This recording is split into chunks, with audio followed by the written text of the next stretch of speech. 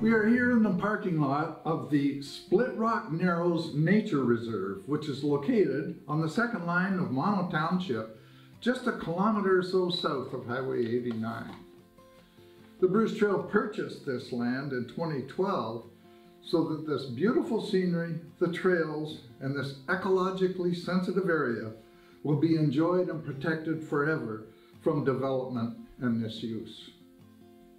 We are now starting up the trail and heading towards the top of the escarpment. At the top, we look out over the view, over the gentle landscape of Mono Township. We are looking east from the cliff face, and just six or seven uh, kilometers to the north, over that way, is the small town of Violet Hill. The view that we see now is in stark contrast to its turbulent past. About 14,000 years ago, this whole area was completely covered by glaciers. It was not one big solid sheet of ice, but in this area, the ice was divided into two lobes. The lobes were joined and the seam between the two lobes ran right along the escarpment edge from north to south, right here in front of us. The ice started melting right along that seam, and the Violet Hill Meltwater Channel was created, flowing south in the confined space between the escarpment cliffs right at our feet and the ice front out there just to the east. Water was just surging right past us here, deepening and eroding the valley below us. We're now heading down the trail to take a look at the narrows and the features that this reserve is named for. The rock below us is primary dolostone, and it contains numerous cracks and fissures. Now remember that 14,000 years ago, there was meltwater flowing down here and some of those cracks and fissures were filled with water. In winter, the water freezes and expands, widening the crack year after year in a freeze-thaw cycle.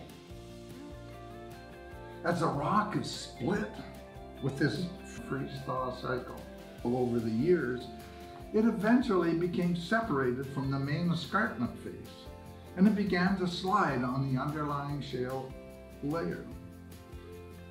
This phenomena, called cambering, widens those small cracks into crevices, and that is how the crevice that we are now looking down on was formed. We're walking into the crevice to get a better sense of how deep it is. The crevice is about 10 feet wide and it extends right along the eastern edge of the reserve.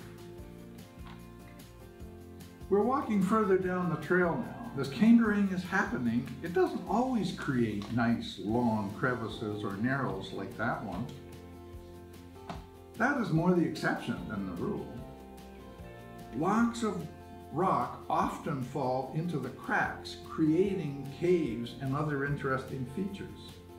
If we just peek over the edge right here, we see that the crack is not as wide as the narrows that we just left. And we can see the fallen rocks and we can see how deep it is. Down the path a little further, we now see uh, another path that leads to an underground cave created by rocks falling into the crevice. There are quite a few deep crevices right along the side of this trail, which is why we close the trail during the winter months when it is covered with snow. This reserve is a great spot just to get out and enjoy nature. The forests around here are primarily sugar maples, but there's also beech, birch, aspen, black cherry. That's the tree that has bark that looks like burnt cornflakes. And some twisted white cedar trees. Some of those trees along the Bruce Trail are more than 1,000 years old. There are identification plaques on, on the different trees, so you can tell them apart as you hike the trail. The trail itself is just over three kilometers long when looping back on the Ralph Trammell side trail. And it is relatively easy hiking terrain, so it is enjoyable for the whole family. There's also a child's treasure hike with maps available in the parking lot, and you can download them from our Dufferin uh, Hi-Land Bruce Trail website. We hope you have enjoyed this little tour of the Splitrock Narrows Nature Reserve here in Mono Township.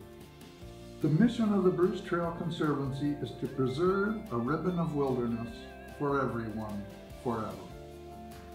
And its vision is to secure a permanently protected corridor along the Niagara Escarpment. This property is a shining example of what can be accomplished for everyone to enjoy forever.